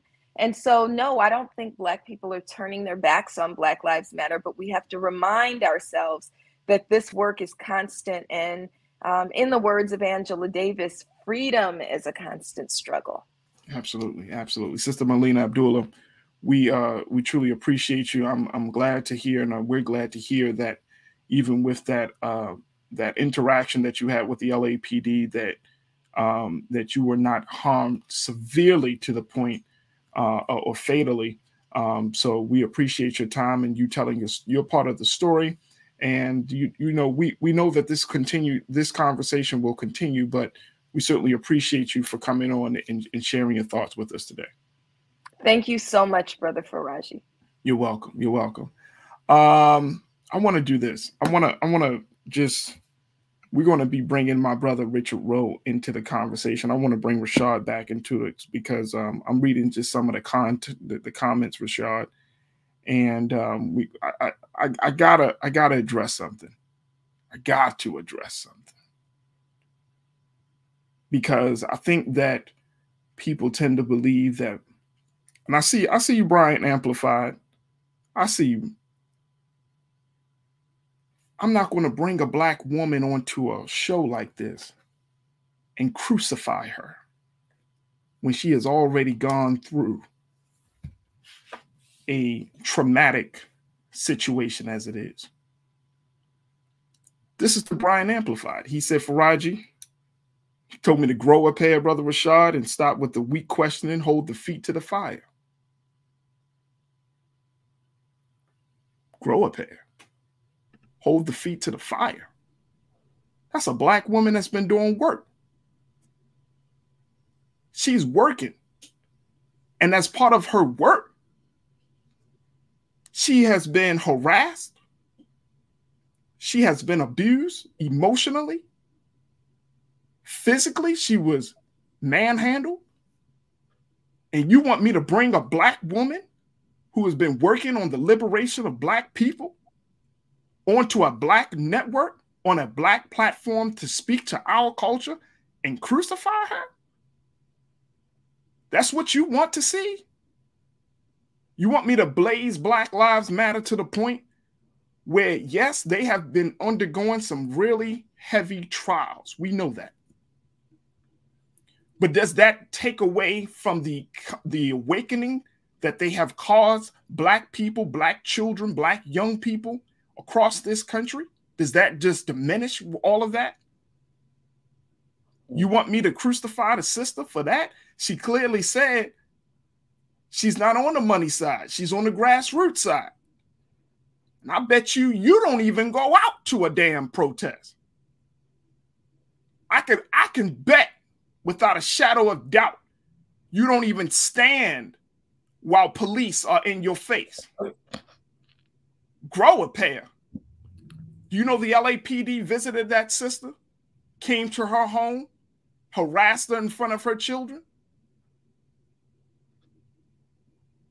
Has the LA or has any police department came to your home? Do you know what that's like? Please get out of my face with that bullshit. That's not the purpose of this show. We're going to talk about it. But let me just tell you why we take the stand the way we take the stand. We don't come on here to blaze black people who have been doing work so we can get a round of applause and so we can get people to, oh, yeah, yeah, yeah, some fodder. No, we don't do that. Mm-hmm. I invited the sister so she can share her story and then you make your judgments. But don't ever think that our intention is that we stand on the side of weakness when this whole conversation is about making sure that even though Black Lives Matter is going through the trials and the tribulations it's going through, that we can take the best of what they have offered, the best of their work, and then we can build upon that instead of wanting to criticize and condemn and tear down the whole damn thing. You feel me? What I'm saying, brother Shot? Yeah, brother. Um, I applaud you for you standing firm into where you believe in your moral standards. I mean, and I don't, yeah, I don't get it. You know, when I'm when I when I hear it, bro. think it's like you know you say find them right. I think of like okay, find what our testicle fortitude, and if we are men of courage and men of good character and integrity, um, testicle fortitude requires us to tap into our divine masculine and divine masculine man, if it's definitely a black man, it causes you to have empathy and sympathy for everyone. And that level of constructive accountability. So, in the case of us assessing what happened in this this young lady who is a leader in our communities doing national work, it requires us to give her a platform to voice her lived experience, not us to scrutinize and interrogate her because we are not um, anyone with a badge to interrogate what happened. But us as men in our divine masculine we must speak on what the, the masculine man is. Too many times we use platforms to talk about toxic masculinity, but what shows up when we are exemplifying divine masculinity with empathy and sympathy to give somebody voice to their power and to use that platform to raise another where level of awareness. So, Brother Farajii, I applaud you um, into using this platform to showcase this, in which we often need to see. Um, and we seldom get the space to do so, brother. I don't take it any any comments that that brother did for any harm because I know we're standing in our true integrity and holding up our moral fiber as we are as members um, of the culture of this show and respecting what the whole aim of this show is to be, and that is to build our collective community through having conversations and giving voice to power on a platform so that we can think of the story and not just the one that the media has perpetuated, but when you can hear from someone that has lived through it maybe that will raise your level of consciousness and awareness. So, brother, thank you for standing firm with your testicle fortitude, but exemplifying divine that. masculinity, brother, because that says me, a lot just, about you. Let me just tell you what it requires. I, I want to bring, and I'm gonna bring my brother in. We're gonna bring him brother in, Richard Rowan. Yes, sir. And I, I feel, and I feel bad because we, I promised brother Richard that we give him the necessary time. But I, I want to be very clear on this. I want to be very clear. I've been working in black media in, in for, for many, many years. And I've often heard when black people get so, when we get so caught up in our feelings or when we get so upset, right, that we want to tear down the organ, the, the, the organization and the institutions mm-hmm. that that that could and have the potential to do greater work for black people. But because we are dissatisfied, we want to tear everything down. And that's a problem. That's a problem. Now, the sister, Josh sister just said the Red Cross owns property, the NAACP owns property. And I'm not going into the weeds into the, the ins and out. I'm just talking about the fact that we do ourselves a disservice when we become dissatisfied. And then in our dissatisfaction, we become like a little devil where we want to spread dissatisfaction to other people in an attempt to to discredit or to destroy something that can lead to something bigger and better and greater. Does Black Lives Matter need to change? Absolutely. Does it need to be improved on? Sure. They say what the biggest room is the room for improvement. But does that mean that it should be totally destroyed? No. You don't say that about the Anti Defamation League, the ADL. You don't say that about any other organization that don't work on the behalf of black people in this country. You don't question them. You don't scrutinize them. You don't you don't even have the, the damn balls to tell them what to do because they don't even care about what you think. But we want to start to, to, to try to destroy black people. I'm so sick and tired of us wanting to, to take down our organizations and institutions. If you have a problem with the organization, shut your damn mouth and help them to get better. Instead of just talking, oh man, they did this, they did that. Well, then take your ass and do something about it. Let's bring Brother Richard Rowe into it. I'm sorry, Brother Richard. This is my brother. He's my older brother. He's been with he's been knowing me for years. Mm-hmm. And I'm so mm-hmm. happy to have him to be a part of the conversation. Brother Richard, I am truly, truly, I have to say, I, I apologize. Don't apologize for bringing don't, you don't on soon. I mean, don't apologize for being compassionate and being human, brother, and wanting to display the highest level of compassion for one another.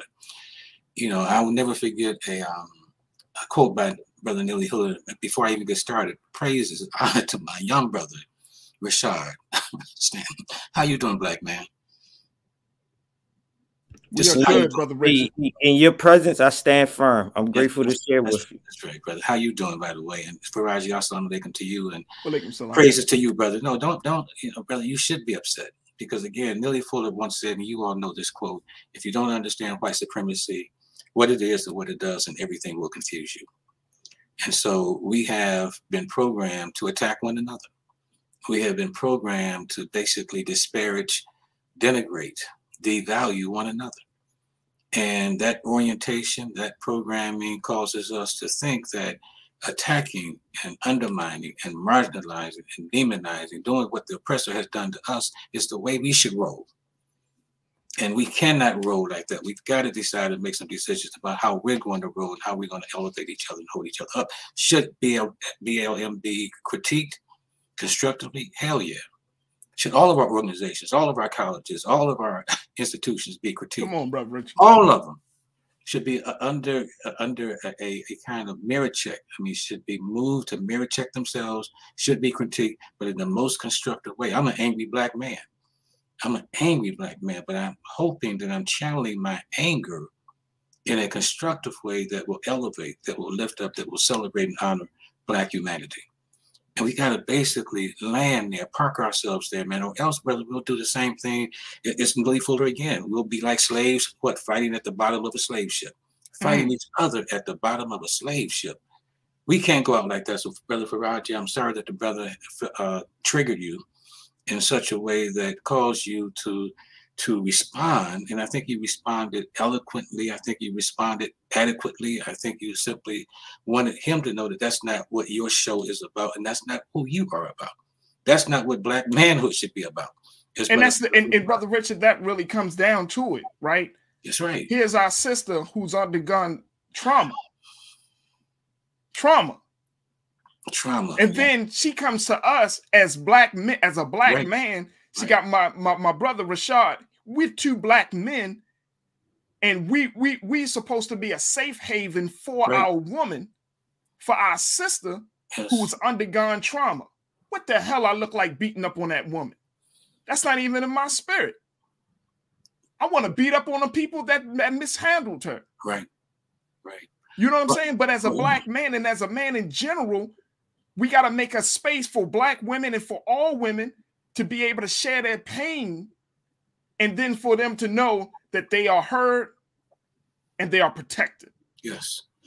And especially when black women have been the reason why the skies haven't fallen on us um, on many occasions. The skies, they keep holding up the skies for us.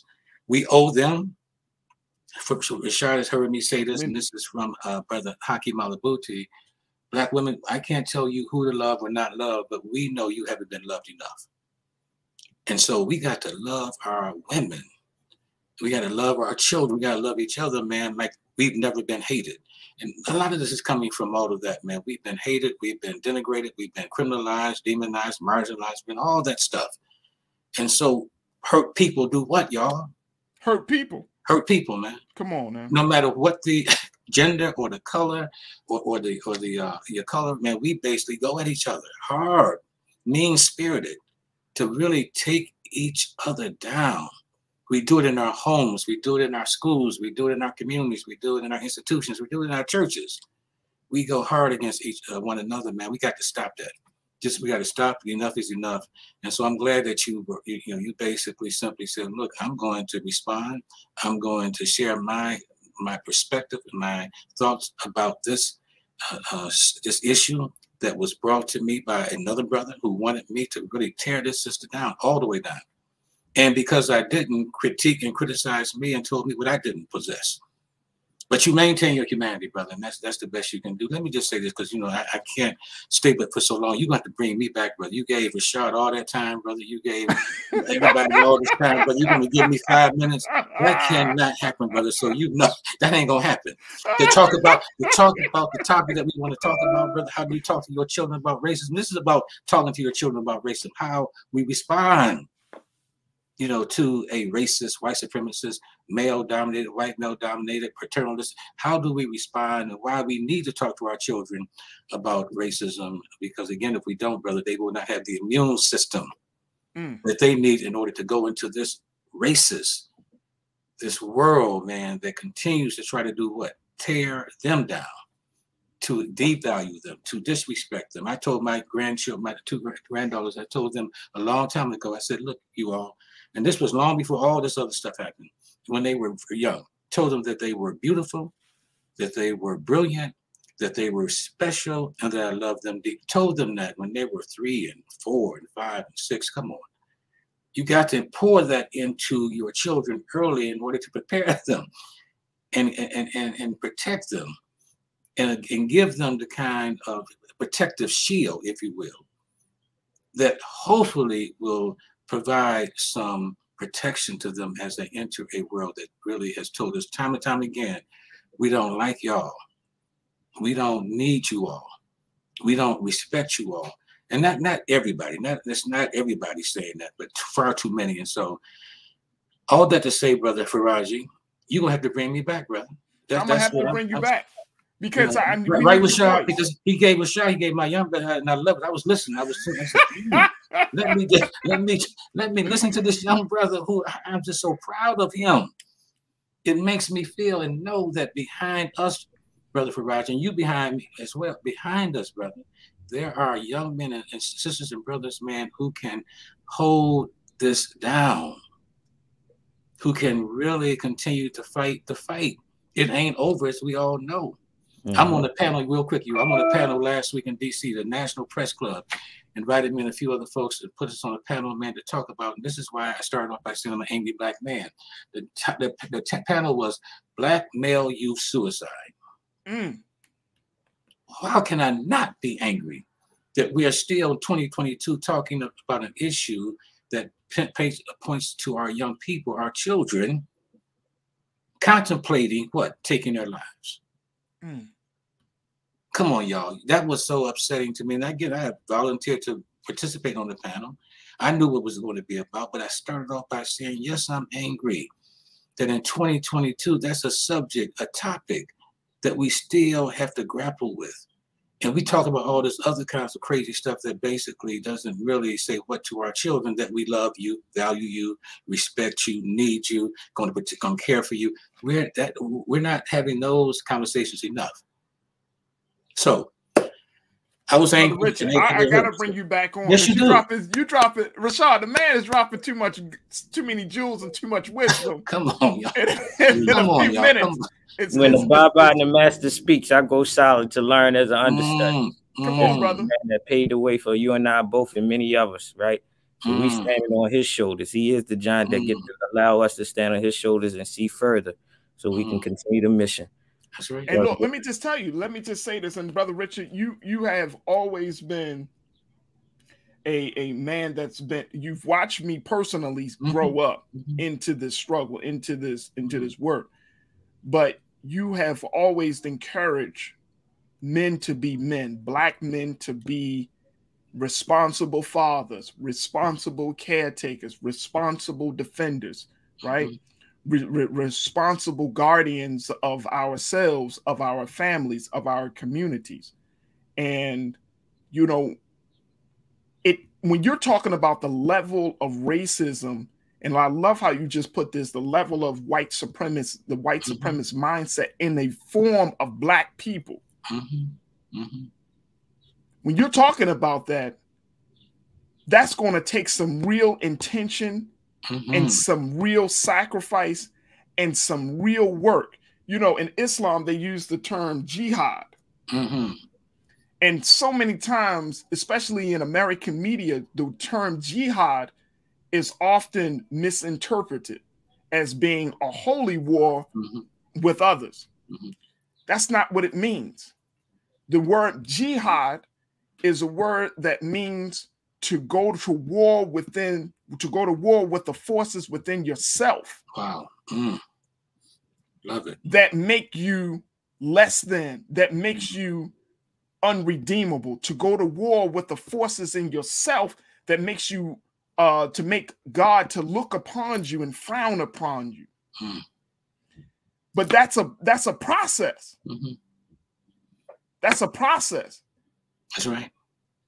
It's a process for us to go to war to want to go and be better men and better women. and I think that that's one of the big things that that when we talk about what the culture is about, I'm not talking about no show. I'm Mm-hmm. just talking about the idea of culture, the cultures that we are all a part of. It doesn't force us to to go to war with ourselves to check our what I heard the minister say one time, the self-accusing spirit Mm. To to un to tap into the God within if you if you believe that way. But you know, you and I all know that we have a voice within us that encourages us Mm. to be better in every circumstance, in every right. decision, That's every right. every you know moment. But if you go, if you don't go to war to make sure that that voice is heard loud and clear, then you lose a part of yourself. You lose your humanity. Mm. Mm. And that's where I think we are. Like the racism is so deep, it's so ingrained in us. We hate ourselves so much. We have lost the humanity of ourselves and lost the humanity to see the beauty of our brother and our sister Mhm. to the point that we would rather kill them than to save them. Right. And, that's it, brother. And, and, so I, I, I know, and again, you know, I, I want to stay, but you know, I can't. But for a few more minutes, but I just want to say this, brother. I want you to, to hear me when I say this, man, because the body is taking count every day because of the microaggressions, the macroaggressions, the um, implicit and explicit biases. I want you to take a deep breath, brother. I want you, Farajii, to take a deep breath, brother. I want you to breathe for a few minutes, man. Given what the brother attempted to uh, chastise you and to want you to do something against your own divine spirit, as Brother Rashad. That's not you. That's not. I would not even be around you if that was you. So you responded in a way that I'm glad you responded. Again, I'm coming back to that because as black men, we got to check each other. Check our sisters. We got to check each other and how we respond, how we show up and what we're going to leave behind for the next generation so that they understand. Because again we we could really we, we had time we could go back and talk about this is what du bois and, and marcus garvey and booker t they got into fights and attacked each other. We could talk about how the movement to diminish or marginalize black women. We could really go down that list up and down this list of how we have shown up to basically do what? Undermine one another. We can't do that. that that's not that's not a solution for black advancement for moving towards our north star. We cannot go at each other in the way that we have been taught. I keep coming back. Program taught oriented to do. Mm. right rashad? Taught oriented miseducated programmed. And until we un- deprogram until we at least do what a 12 step program, the first step in the 12 step, 12 step program is what? Admit Yeah. that you are what? Sick. Mm-hmm. Admit that you have an addiction. We have an addiction to attacking each other, harming each other. So again, my, my little presentation today was going to be Farajii and, and Richard, any issue that harms, injures, causes our children to suffer, or even leads to them dying are issues that we must talk about early and often. So racism is one of those issues because it harms, it causes suffering, it causes them to be feel disrespected, and it also basically can lead to their dying. It's an issue, Richard, Brother Farajii, that we must talk about. And so I'm looking forward, brother, to basically I'm bringing you back. with invitation, say, Brother bro, come back on. And, and bring Rick Richard back on, but he can't talk as much as he talks. He's actually waiting until I'm. And then we can bring him into the conversation. But I love what he said today, all that I've heard. Love him. Love you, Farajii. I mean that, but I mean we we this is about loving each other like we've never been hated, man. We got to do that. That's right. Yes, sir. Right. Sir. Yes, sir. Love each other, man. Compassion. Our humanity has been what? Dehuman. There's five levels of dehumanization. Don't get me started, y'all. This just say Yo, you about to see? You about to take us to school? I ain't got enough time for you right now, bro. Richard, you about to take me to school? Look, trust and believe, family. I'm bringing back my big brother, brother Richard Rowe, who is a mental health advocate. He is an author. He is a race scholar. He has been on the front lines, pushing not on the front lines fighting, but he's been Hmm. on the front line encouraging us to love one another as black men. He is a huge proponent of Black fatherhood mm-hmm. and the role of Black fathers in the community and in the family. So we will certainly bring you back on. But I thank you so much. Oh my gosh. I, I thank you, you, so, so much. It was the perfect way to bring mm. to introduce you to our audience today.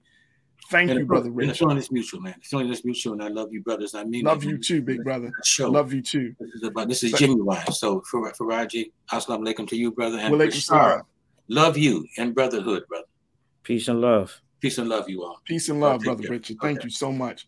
Peace. Uh, Rashad, I thank you.